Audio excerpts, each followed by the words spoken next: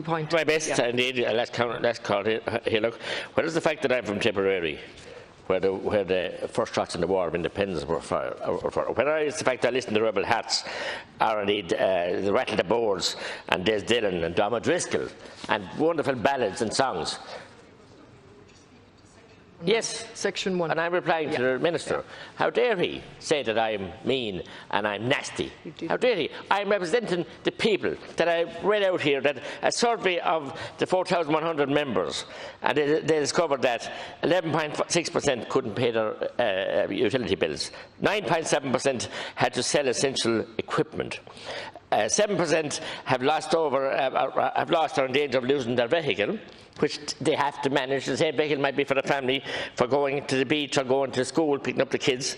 34%, or 3.4% in danger of losing their home. Is that mean and nasty? Because she doesn't sit well with yourself, Minister.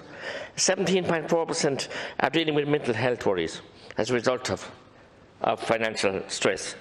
Is that mean and nasty? 2.4% have considered attempting self-harm. It's shocking.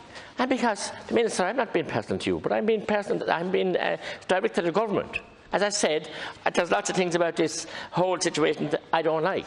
We also have the taxis that Deputy uh, Barrett mentioned, and we also have the man in the van. All different vans, whether they be vans or lorries or trucks, self-employed people out there who can't get a penny. And of course we have the over 66s.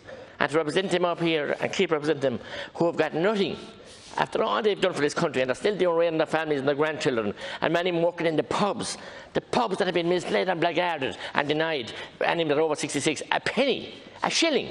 They were put out of business by the government, and I'm being mean and nasty because I have the audacity to represent them. And the Taoiseach asked me last week what planet I was on.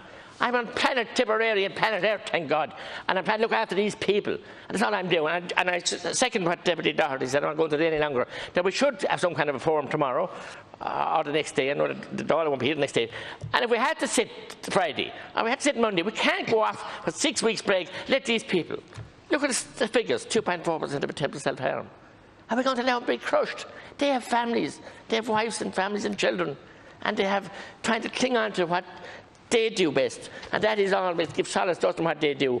They're just givers and uh, they, they, they, they, naturally give enjoyment and, and solace and support to us in difficult times, as, as other deputies have said. So I'm not being nasty. I'm not being mean, mean. And I don't accept that at all from, from Minister O'Donoghue.